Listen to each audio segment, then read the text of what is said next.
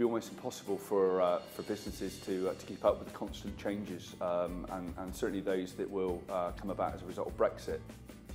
We see it very much as our job to, uh, to help them through that kind of minefield, if you like, and make sure that we uh, constantly update the, uh, the products available to make sure it responds to their needs at that time.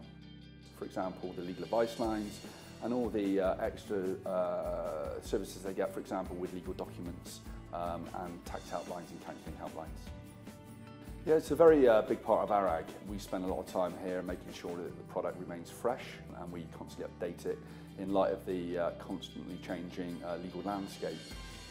So it's a very big part of what we do. We have a big uh, research team here and we're always reviewing the products and making sure that they uh, respond uh, to the ever-changing uh, environment that we're in.